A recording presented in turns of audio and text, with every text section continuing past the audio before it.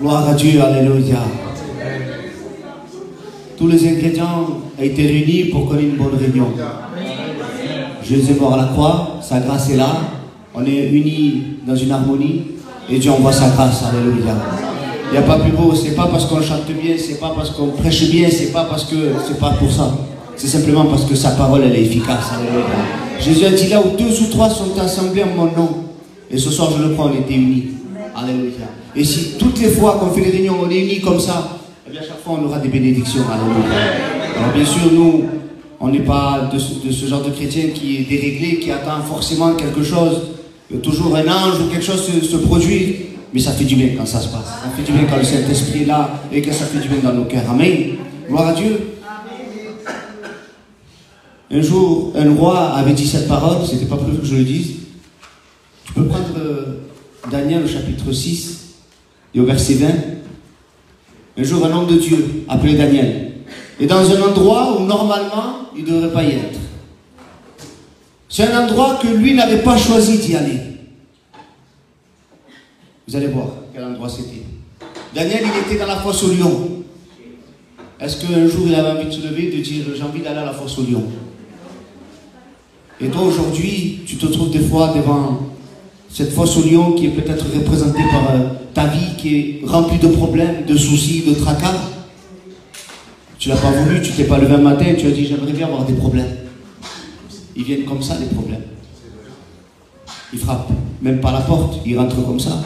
Et Daniel, un jour, lui priait, la Bible dit qu'il priait trois fois dans la journée, il faisait trois fois tout, il faisait tout ce qui était aux yeux de Dieu, tout, ce- qui était bien.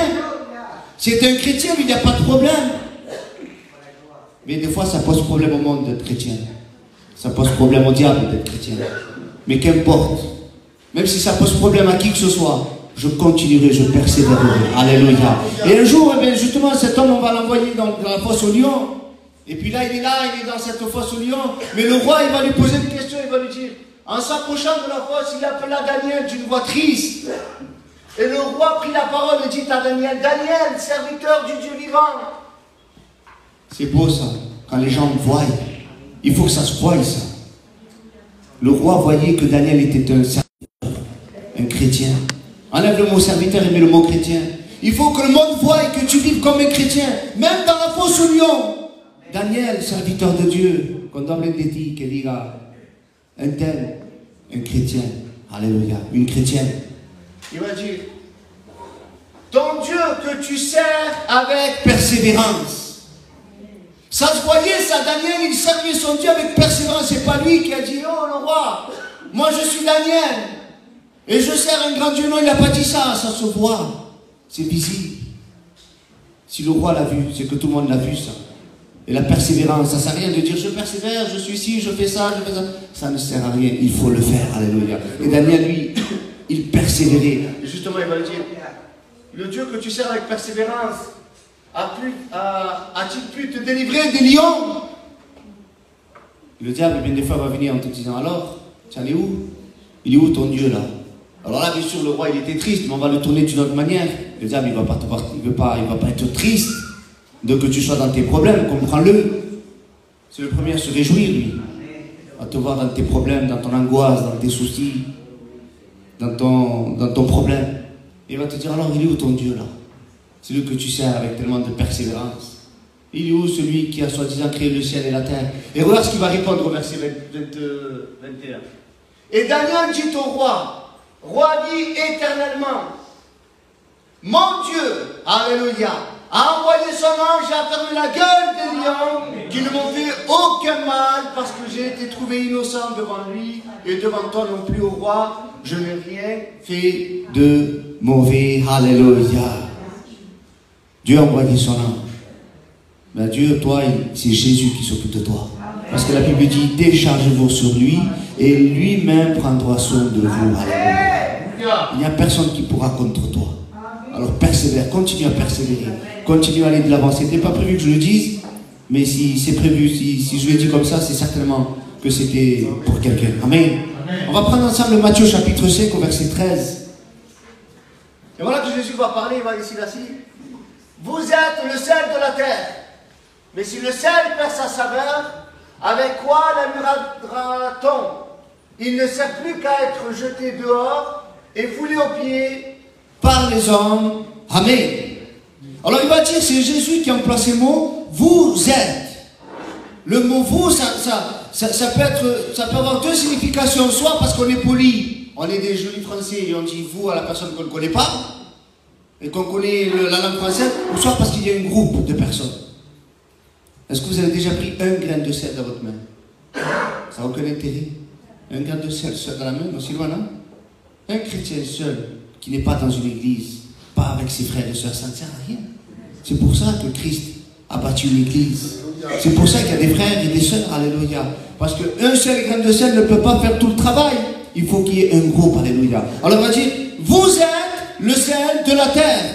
C'est pas quand vous avez envie, vous êtes le sel de la terre. Quand vous pouvez, quand tu n'as pas de rendez-vous, quand euh, tes enfants vont bien, quand l'argent est, c'est pas ça. Vous êtes le sel de la terre, quoi qu'il se passe. Dans l'abondance comme dans la dissette. Dans les problèmes comme dans la... quand tout va bien. C'est une affirmation, c'est pas une option. Si tu es chrétien, alors tu es le sel de la terre et avec les facultés du ciel, du sel, tu vas comprendre. On va pas faire les scientifiques, hein, on va pas parler du ciel euh, dans les détails.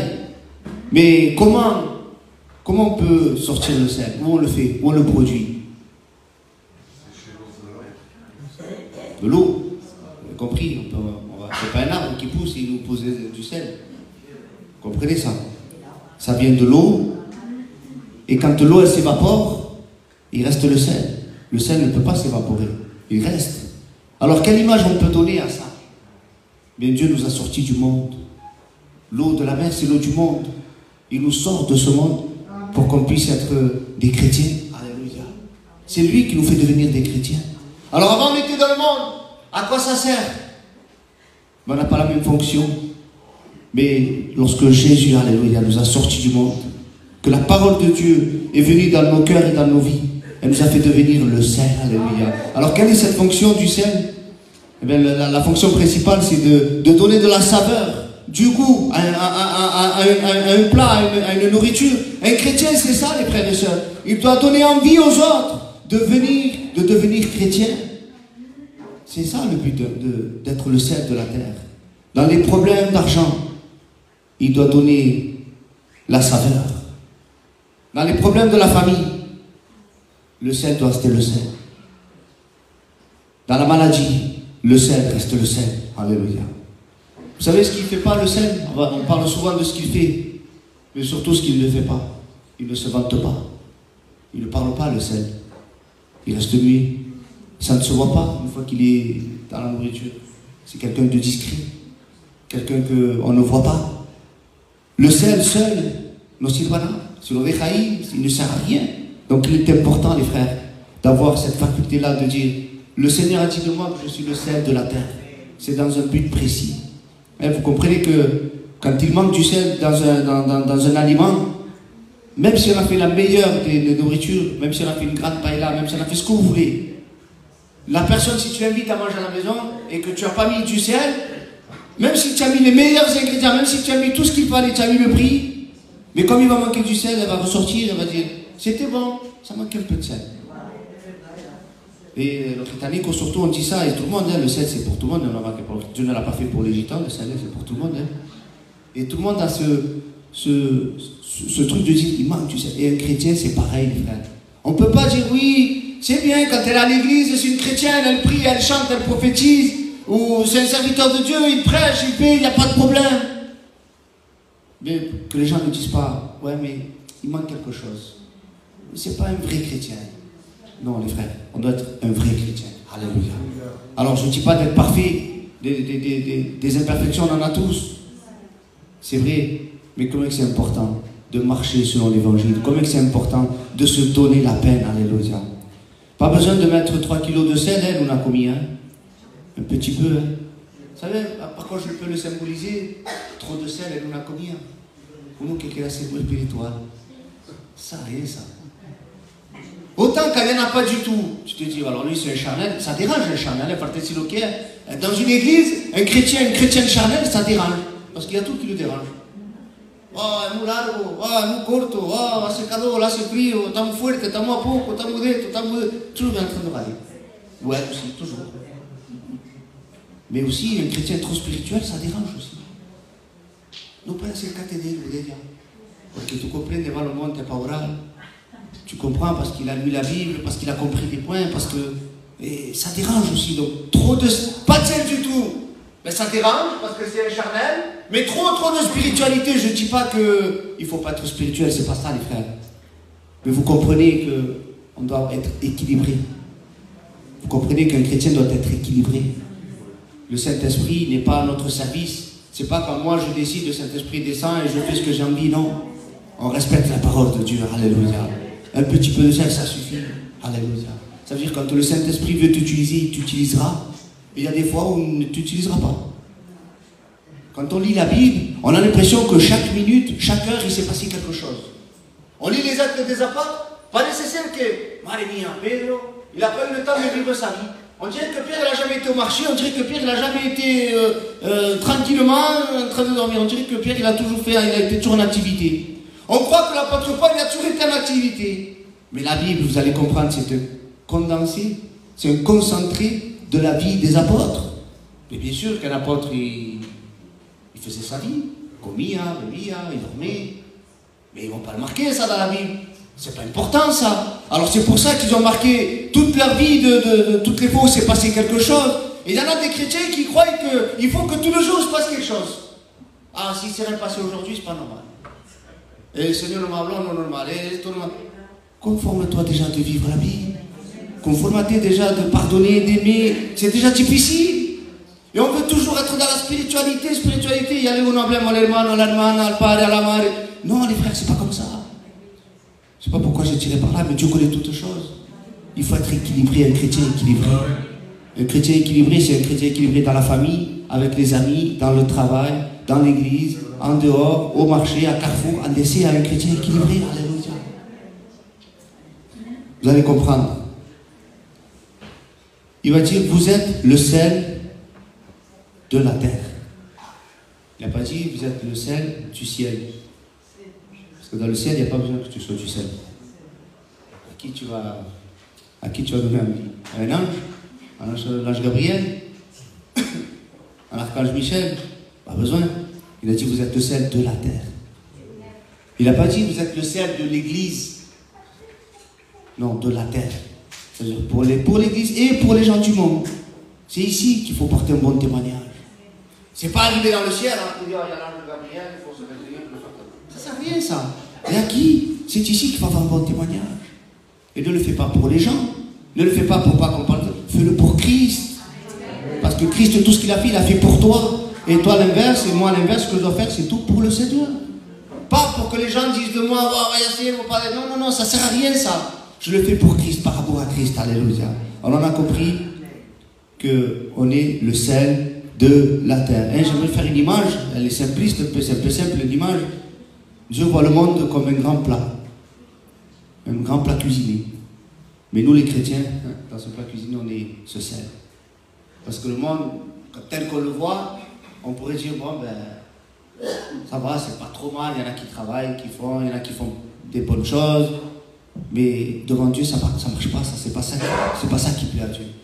Ce qui fait que Dieu a son regard, alléluia, sur la terre, c'est parce qu'il y a son Église. C'est parce qu'il y a nous, parce qu'il y a le sel de la terre, alléluia. Et il veut prendre soin de ta vie. Il veut prendre soin de ton foyer, alléluia. Mais toi, il faut que tu fasses confiance. Pour que tu sois le sel de la terre, il a fallu que Christ vienne quitter son ciel de gloire et mourir à la croix, alléluia. Et que ce message de l'évangile parvienne à ta vie, et afin que tu puisses toi aussi partager ce message de l'évangile. Alléluia. Alors on continue, il va vous êtes le sel de la terre.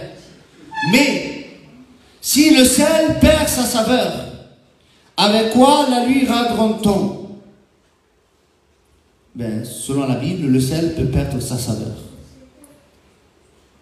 À cause de quoi? Ben, À cause d'une mauvaise conservation. vous avez vu des fois dans les paquets de sel, c'est marqué à conserver à l'abri du soleil, dans un endroit frais, sec. Souvent où tu mets le sel, ben, il n'est plus pareil. Et nous, les frères, c'est pareil. on doit savoir garder nos cœurs du péché.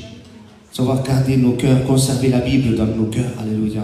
Alors il y a plusieurs choses de, de ce que l'on doit se garder. Une des premières choses, il va dire dans 1 Jean chapitre 3 verset 24.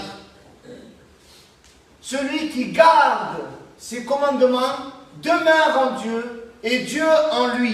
Et nous connaissons qu'il demeure en nous par l'Esprit qui nous a donné. Alléluia. La première chose que l'on doit garder, conserver, c'est sa parole. Et ça fera de toi un bon. Ça fera quelqu'un de toi mais qui, qui va donner pleinement tout ce que le sel doit donner. Soif, envie, bonne saveur. Alléluia. Autre chose que l'on doit garder dans Psaume au chapitre 37, je vais pas laisser, au verset 7. Garde le silence devant l'Éternel et espère en lui. Ne t'irrite pas contre celui qui réussit dans ses voies, contre l'homme qui vient à bout de ses mauvais desseins. Et on avait dit ce mot, dessin, c'est pas un dessin, c'est ses propre désir, c'est ce projet. Et là, la Bible dit, garde le silence devant l'éternel. Il y a des fois, et souvent je le dis, je le répète, il y a des fois, il faut savoir parler. Par là, on n'a pas le choix, il faut qu'on qu'on se justifie ou qu'on dise quelque chose parce que la personne a besoin. Mais c'est pas tout le temps que la personne en a besoin. Il y a des fois où il faut parler et il y a des fois où il faut garder le silence. Et malheureusement, on garde le silence quand il ne faut pas et on parle quand il ne faut pas. Et après on s'étonne qu'il y a des problèmes et des soucis. Sachons garder le silence comme Jésus l'a fait. Quand il s'agissait de la Bible, Jésus lui parlait, il annonçait l'évangile. Quand on l'accusait à lui, directement il gardait le silence. Mais ne réponds-tu rien de ce qu'il dit ces gens-là contre toi Il dira Pilate. Et Jésus garda le silence. Alléluia. Il faut savoir garder le silence, les frères. Dans Éphésiens chapitre 4, verset 3, il va dire Vous efforçant de conserver l'unité de l'esprit par le lien de la paix. Alléluia. De conserver l'unité. Alléluia. Sachons être unis. La dit un petit grain de sel tout seul, il ne sert à rien. Mais ensemble, ça marche ça produit quelque chose. Amen. Dans Jude au chapitre 1 verset 21. Allez-y. Maintenez-vous. Persistez. Maintenez-vous dans l'amour de Dieu. En attendant la miséricorde de notre Seigneur Jésus-Christ. Pour la vie éternelle. Maintenez-vous. Como diciamo nosotros, no te. Non. Maintiens-toi dans l'amour. Pas dans oui, mais j'ai raison et je vais jusqu'au bout. Et peu importe, peu importe ta raison. La raison, on s'en fiche. Ce qui est important, c'est l'amour de Dieu. Avant, oui, avant, on aurait pu raisonner comme ça. Parce qu'on n'était pas chrétien, on n'était pas dans les, dans les choses de Dieu. Mais aujourd'hui, on est des chrétiens. Et il faut savoir faire la part des choses. Moi, ce que je veux, c'est me maintenir dans l'amour de Christ. Oui, mais ça va déranger mes convictions, mes propres, euh, mes propres désirs. Mais tant pis. Je veux le faire pour l'amour de Christ. Alléluia. Parce que c'est pour ça que je suis chrétien. C'est pour renoncer aux choses qui y a en moi. Parce que sinon, je reste dans le monde. Sinon, me quedo gitano y con mis cosas gitanas et voilà. Mais on n'est pas appelé à ça, on est appelé à être des chrétiens. Alléluia. Et je le crois qu'aujourd'hui, nous sommes tous des chrétiens.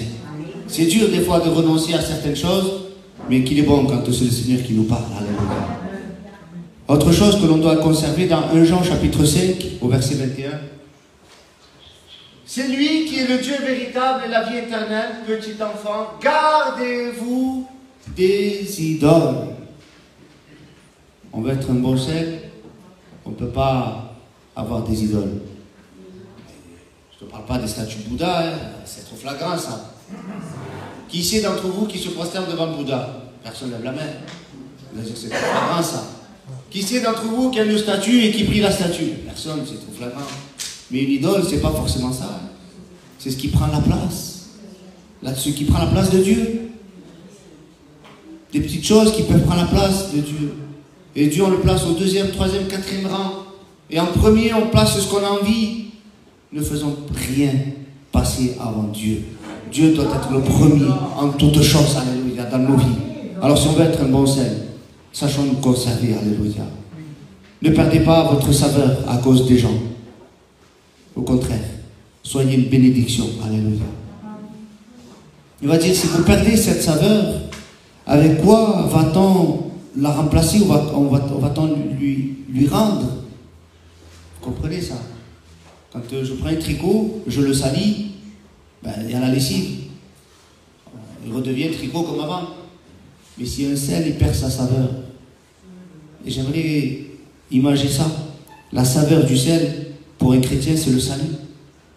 S'il perd le salut, le frère, la soeur, avec quoi Comment il va se sauver? Avec quoi? Un autre évangile? Un autre moyen? Un autre Christ? Une autre bonne nouvelle? Une autre religion? Avec quoi on va faire? Regardez ce qu'il va dire. Il ne sert plus qu'à être jeté dehors. Voilà quoi il va servir. Il va dire, vous êtes le sel de la terre, et mais, si le sel perd sa saveur, avec quoi la lui rendra-t-on? Il ne sert plus qu'à être jeté dehors et foulé aux pieds des hommes, aux pieds par les hommes. Quelle triste fin pour le sel à la fin. On le sort du monde, on le sort de l'eau, l'eau elle s'évapore. Normalement c'est pour faire quelque chose de bien. C'est pour relever un plat, c'est pour donner soif, c'est pour euh, conserver, je ne sais pas, c'est pour faire quelque chose de bien. Al final, on, le sort du monde, on fait, on fait tout. le Christ a, donné sa vie. Il a changé son cœur. Il est né de nouveau. Il lui a donné le Saint-Esprit. Il est le temple du Saint-Esprit. Il a parlé en langue. Il a chanté des cantiques. Il a prêché la parole de Dieu. Il a témoigné. Il a visité toutes les, toutes les églises.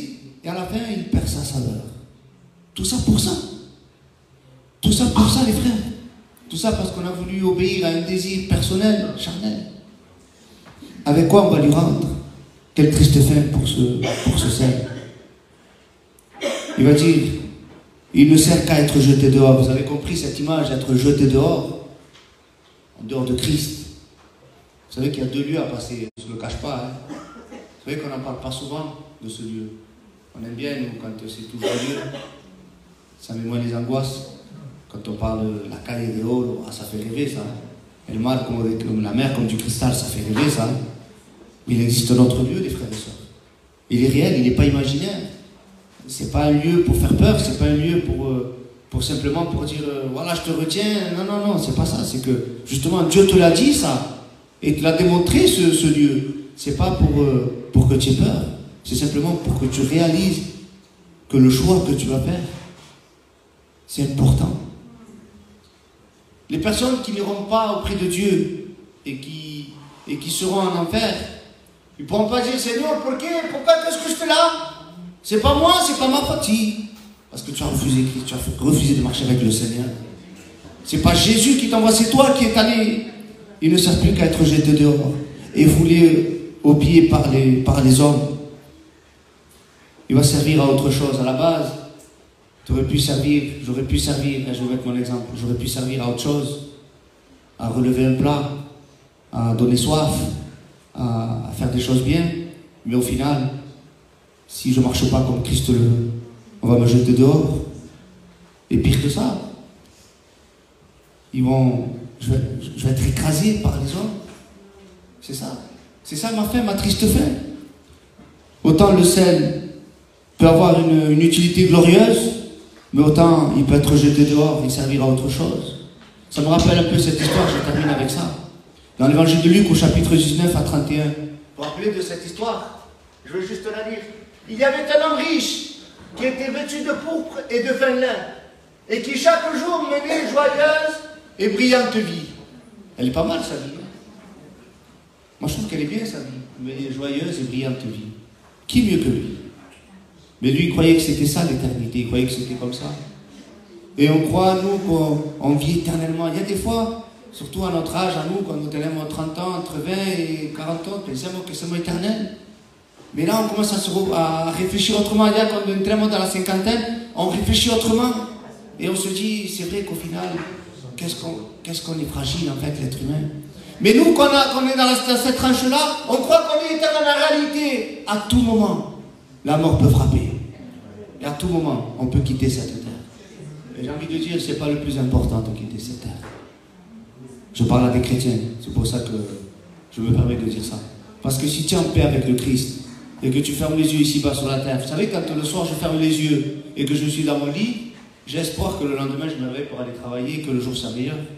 Mais si je, ferme les yeux ici et que je meurs ici, je, lèverai les yeux là-haut. Alléluia. C'est parce qu'il y a un espoir qui sera meilleur là-haut. Alléluia. Et là, cet homme-là, lui, il vivait sa vie.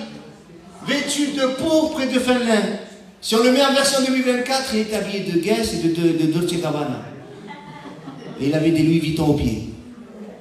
C'est ça, hein, c'est ça que ça veut dire.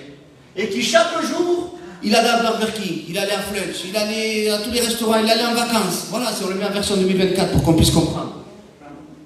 Et continue au verset 20.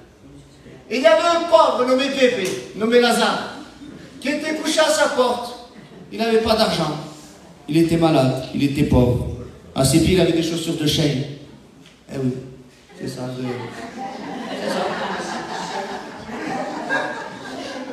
Un pauvre misérable.